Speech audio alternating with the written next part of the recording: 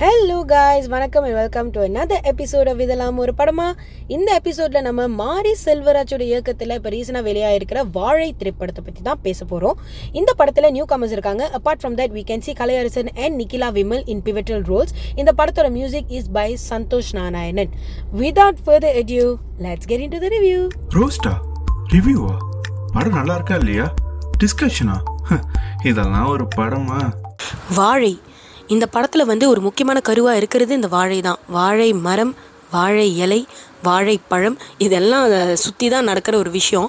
So ஒரு ஒரு ஊரில் ஒரு மக்கள் வந்து பேசிக்கலி வந்து என்ன பண்ணுறாங்கன்னா வாழை அந்த தோப்பில் இருக்கிற அந்த வாழெல்லாம் பொறுக்கிறது இந்த மாதிரி வேலை தான் அவங்கள அவங்க எல்லாம் செஞ்சிட்ருக்காங்க. அவங்களுக்கெல்லாம் இருக்கிறது ஒரு ட்ரேடர் அவன் வந்து எப்படி எக்ஸ்ப்ளாய்ட் பண்ணுறான் அப்படின்றது தான் ஒரு ஒரு one one part of the story இதுதான் வந்து மெயினான அவங்க பார்க்குற வேலை.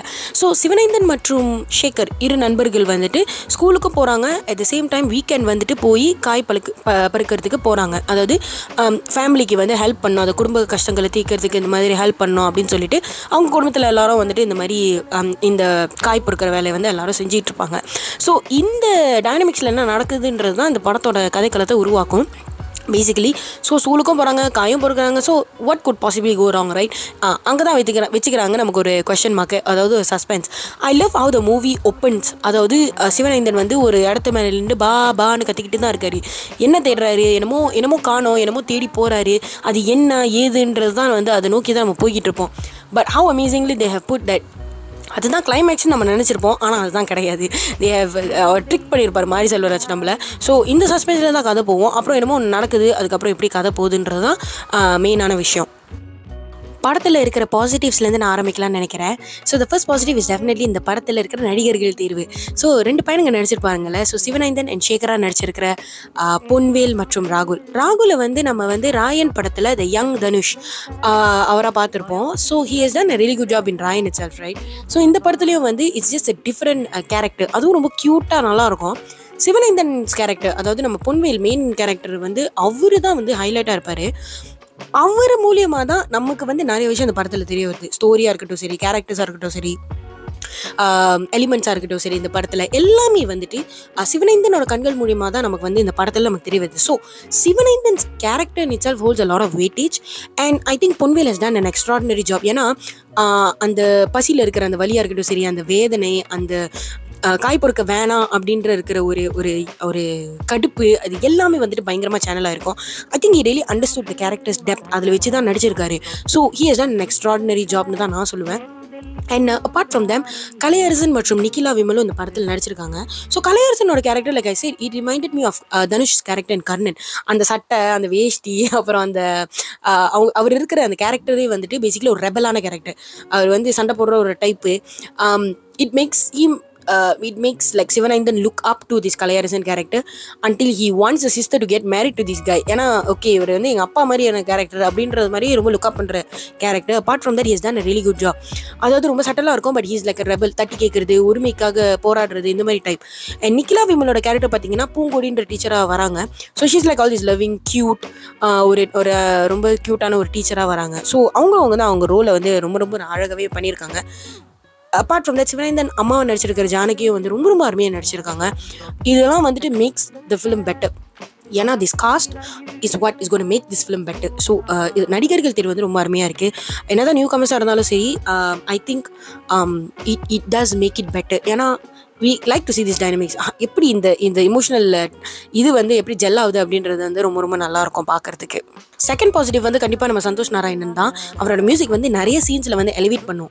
நிறைய பாயிண்ட்ஸ் நிறைய எலிமெண்ட்ஸை வந்து பயங்கரமாக எலிவேட் பண்ணும். ட்ராஜிக் ட்ராஜிக்கான சீன்ஸாக இருக்கட்டும் சோகமானது சண்டை போடுறது. அவரோட டைனமிக்ஸ் நம்ம நல்லாவே தெரியும். பரியரும் பெருமாள் கர்ணன் இந்த மாதிரி படத்துல எல்லாமே வந்துட்டு மாரி செல்வராஜ் அண்ட் சனாஸ் காம்போ வந்து ஒரு a genre of the own so ரொம்ப ரொம்ப அருமையாக இருந்திருக்கு. சில இடங்களில் வந்து மியூசிக் வந்து ரொம்ப ஓவர் எக்ஸாஜரேட்டடாக இருக்கிற மாதிரி இருக்கும். But I think most of the parts it it does just this and songs also ரொம்ப ரொம்ப நல்லா இருக்குது so Santhosh Narayanan is definitely huge backbone so of course thirdly வந்து we can go with a talking about Mari Selvaraj and his direction அதாவது அவரோட story telling வந்து ரொம்ப ரொம்ப யூனிக்காகவே இருக்கும். அவருக்குன்னு ஒரு ஸ்டைல் இருக்குது அவருக்குன்னு ஒரு ஒரு மேனர் இருக்குது மற்ற படத்தில் பார்த்தீங்கன்னா ஒரு ஃபைட் பண்ணுறதுக்கு ஒரு ரீசன் இருக்கும். மக்களுக்கும் அந்த ஊர் மக்களுக்கும் அந்த கேரக்டருக்கும் ஆனால் இதில் வந்து ரொம்ப சட்டலாகவே தான் இருக்கும்.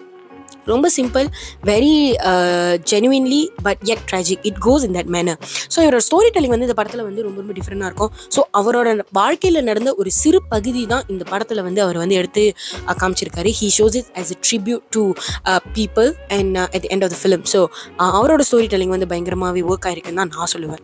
படத்தில் என்ன ஒர்க் ஆகலை. Okay there is a certain level of கதை வந்து பில்ட் பண்ணுது. ஆனால் ஃபர்ஸ்ட் ஆஃப் வந்து ரொம்ப ட்ராகியாக இருந்த மாதிரி எனக்கு தனியாக ஃபீல் ஆனிச்சு. ஏனென்றால் இந்த படத்தில் வந்துட்டு as we are trying to find out about Sivanainthan's character அதாவது அவர் வந்து பள்ளிக்கூடத்துக்கு போகிறாரு ஹீ இஸ் அ டாப்பு படிக்கிறதுக்கு ரொம்ப பிடிக்கும். காய் பொறுக்கிறதுனா he doesn't want to go அவருக்கு அது வேண்டவே வேண்டாம். கழுத்து வலிக்குது. He doesn't want to do that job he wants to go to school he wants to study so இதெல்லாம் ரொம்ப டிஃப்ரெண்டாகவே இருந்துச்சு. நார்மலாக பிள்ளைங்க வந்துட்டு லைக் வேணாம். ஸ்கூல் எப்போ கட் பண்ணலாம் அப்படின்னு சொல்லுவாங்க. பட் இந்த படத்தில் totally opposite they like to go to school ஏன்னா அப்போ தான் காய் பொறுக்க தேவையில்ல அப்படின்ற ஒரு சீன் வருது. ரொம்ப நல்லாயிருக்கும். ஆனால் என்னன்னா ஐ திங்க் ரொம்ப ட்ரெகியாக இருந்தது ஃபர்ஸ்ட் ஆஃப் பிகாஸ் இந்த கதையோட டேர்னிங் பாயிண்ட் வந்து செகண்ட் ஹாஃபில் ரொம்ப லைக் அந்த uh, கிளைமேக்ஸ் ட்விஸ்ட் வைக்கிற டைமில் தான் வந்துட்டு ரொம்ப வருது. அதாவது ப்ரீ கிளைமேக்ஸில் தான் ரொம்ப வருது. அப்போ தான் நமக்கு தெரியுது ஓ என்னமோ நடந்திருக்கு அதனால தான் இந்த மாதிரி ஒரு விஷயம் ஓடிட்டுருக்கு அப்படின்னு. But all the while we are just expose to Sivanandhan in Shekhar's சேட்டை ஸ்கூலில் இருக்கிறது. அப்புறம் சில சீன்ஸ்லாம் வந்து ரொம்ப ஓவராக ட்ரகி ஆகி நிறைய சீன்ஸ் ஏழு எட்டு சீன்ஸ் வரைக்குமே வந்துட்டு ரொம்ப வந்து அந்த பர்டிகுலர் விஷயத்த வந்து ரொம்ப இழுத்தடிச்சு ரொம்ப இது பண்ண மாதிரி இருந்தது. ஸோ அது ஒரு ஃபர்ஸ்ட் நெகட்டிவாக எனக்கு கண்டிப்பாக இருந்தது. செகண்ட்லி வந்துட்டு ஐ திங்க் மாரி செல்வராஜோட தாட் ப்ராசஸ் என்னன்னா இந்த படம் வந்து ரொம்ப சிம்பிளாக இருக்கணும் அப்படின்றது தான் பட் என்ன பண்ணியிருக்காருன்னா ஃபர்ஸ்ட் ஆஃப் வந்து கொஞ்சம் ட்ராகியாக இருந்த மாதிரி. ஸோ அந்த ஸ்டோரி டெல்லிங் அதாவது அந்த டேர்னிங் பாயிண்ட் எப்படா நம்ம வந்து லைக் ஓ மை காட் என்ன நடக்குது? அப்படின்ற அந்த பாயிண்ட் வந்து செகண்ட் ஹாஃபில் தான் வருது. ஸோ எனக்கு அது வந்து ஒரு மாதிரி இதாக தான் இருந்துச்சு. என்ன சந்தோஷ் நாராயணனோட மியூசிக் ஆல்சோ சில சில இடத்துல வந்து ஓவர் எக்ஸாஜரேட் ஆன மாதிரி இருக்குது. Um, ரொம்ப ஓவராக லைக் ஒர்கெஸ்ட்ரலாக ரொம்ப எக்ஸ்ட்ராவாக ஏன்னா அந்த சீன் வந்து ரொம்ப சிம்பிளாக இருக்கும் பட் மியூசிக் வந்து ரொம்ப ஓவராக இருந்த மாதிரி இருந்தது. Apart from that I think music was tremendously good and everything and அதுலேயும் ஒரு ஒரு ஒரு ஃப்ளா என்னன்னா பாட்டு வந்து இந்த படத்தில் வந்து தப்பான நேரத்தில் வர மாதிரி எனக்கு ஃபீல் ஆகுது. ரொம்ப முக்கிய முக்கியமான சீன் ஓடிட்டு இருக்கோம் திடீர்னு ஒரு பாட்டு வருது. அந்த பாட்டு வந்து வந்தோடனே எல்லாமே ஒரு மாதிரி ஸ்லோவாகி டை டவுன் ஆகுது. Before the story picks up again so அதில் வந்து ஒரு ஹேர்டல் கண்டிப்பாக நான் ஃபீல் பண்ணேன். So yeah these are the very basic things of this film see as a flaw இந்த படம் வந்து எல்லாரும் ஆஹா ஓஹோ அப்படின்னு பேசுகிறாங்க பட் எனக்கு என்னன்னா அப்படி ஒரு ஆஹா ஓஹோ அப்படின்றது எனக்கு அவ்வளோ ஃபீல் ஆகல personally I just felt okay it's good movie it's an averagely good movie and yeah நல்ல படம் தான். எல்லாரும் பார்க்க வேண்டிய படம் டெஃபினெட்லி மாரி செல்வராஜோட ஸ்டோரி டெல்லிங்காகவே ஸ்க்ரீன் பிளேக்காகவே எல்லாரும் பார்க்க வேண்டிய படம். Apart from that I think it's very simple normal story that you can watch I mean it's it's a watchable film definitely for the efforts of everyone so yeah கண்டிப்பாக பார்க்க வேண்டிய படம் தான். So that's the review for Vaazhai ரொம்ப ரொம்ப simple straight to the point கான film so அதனால தான் ரிவ்யூ வந்து ரொம்ப கச்சிதமாக சின்னதாக தான் இது பண்ணியிருக்கேன். எலாபரேட் பண்ணுறதுக்கு எதுவுமே கிடையாது. ரொம்ப ஓவராக அனலைஸ் uh, பண்ணுறதுக்கு எதுவுமே கிடையாது. It's very very direct straight to the point ரொம்ப அருமையான திரைப்படம். எல்லோரும் போய் கண்டிப்பாக தேட்டரில் பாருங்கள் you you watch watched and as we all excitingly waiting for Mari Selvaraj அடுத்த படம் which is Bison starring Dhruv Vikram so பார்ப்போம் அது எப்படி இருக்குன்னு ஏன்னா அவரோட கொடுத்த படங்கள் எல்லாமே இப்போ வரைக்கும் வந்து பயங்கர ஹிட்டாக இருந்திருக்கு அவருக்குன்னு ஒரு ஸ்டைல் இருக்குது ஸோ சூப்பராக வந்திருக்கு let see how it goes and yeah thank you so much for வாட்சிங் அண்ட் லிஸ்னிங் கைஸ் வேறு கதைகள் யூடியூப் சேனலுக்கு சப்ஸ்கிரைப் பண்ண மறந்துடாதீங்க and followers and all social media platforms for more fun and interesting contents and stay tune for another episode one இதெல்லாம் ஒரு படமா thank you bye